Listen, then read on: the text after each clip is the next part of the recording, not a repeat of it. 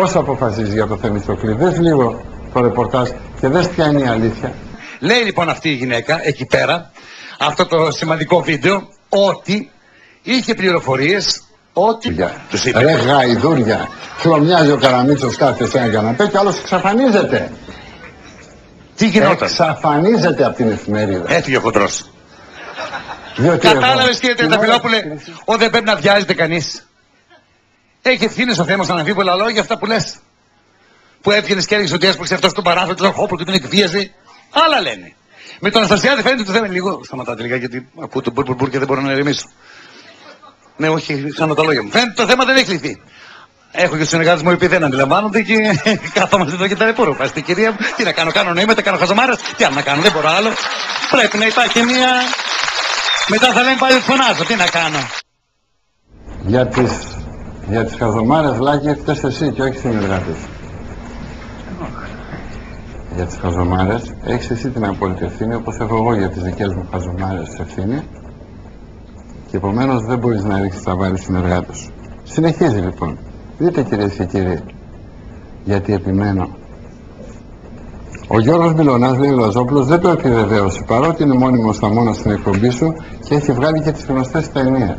Αυτός, όπως λέει, θέλω να τη βρείτε την κατάσταση, παρακαλώ, δεν το επιβεβαίωσε, όπως λέει η γυναίκα του, και μου τον έχεις μόνιμο θαμώνα εκεί πέρα, να μας εξηγήσει ότι οι ταινίες που έκανε ο Μιλονάς, αυτές και εδώ γκούρια και διάφορα τέτοια, ότι ήταν λέει πάρα πολύ ποιοτικές, αλλά έβαζε αυτός άλλους τίτλους γιατί τον πίεζε η αγορά και αυτόν.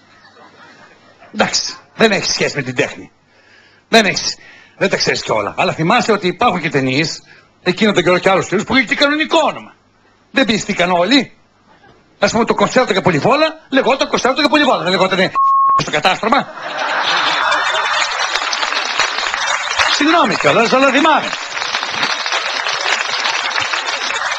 Και η ταινία υπολογογός στην Νατάσα, πώ του τύπου θα μπορούσε να λεχθεί και η Νατάσα με τον υπολογογό από πίσω, αλλά. Ούτε μία ταινία.